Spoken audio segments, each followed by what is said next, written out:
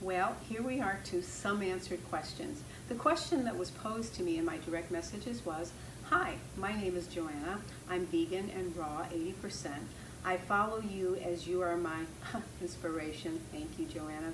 I just saw your video with Dr. Brian Clement. I'm listening to him a lot, but I'm so confused as I was eating lots of fruits and he said now that we shouldn't because they're hy hybridized. What can you advise, please? As I'm getting scared to eat fruits. All right, here's the deal, Joanna.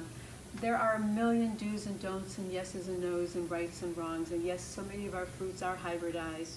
And uh, actually, I personally think that most people are eating way too much fruit just for the natural sugar.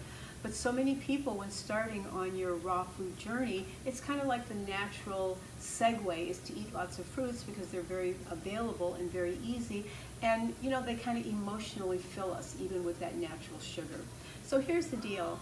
I would not eliminate the fruit. Um, I'm at the stage of the game where I have eliminated a lot of fruit only because I am 72 and the glycosins do age you and those of you who know me know I do everything I can to uh, you know, keep the aging from going at the rate that it is for most humans at this time and, and place in our world. But what do I say about fruits? do you know what? If it's going to be the bridge to help you stay raw until you're ready to go to the next level, go for it. You know, because it's going to be better than eating a Snickers candy bar. It's going to be better than a lot of the foods you could eat. And it will definitely, I feel, help you from sliding backwards. Too much sugar, absolutely.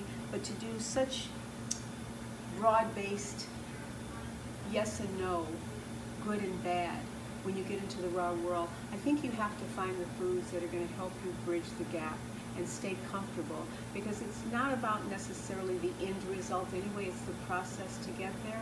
And as long as you make the process joyful, you make the journey fun and exciting, and you continue to learn and improve and don't get stuck anywhere. You know, here I am at 72, vegan 50 years, I have to not get stuck and continue to learn and change. So there's my answer. I don't think there's a a definitely right or wrong as to being 80%. I think if you've been vegan for five years, maybe you might want to slow down. Maybe you might want to go for more fruits that we uh, know aren't hybridized, but I wouldn't make it a negative where you can't eat fruit at this point.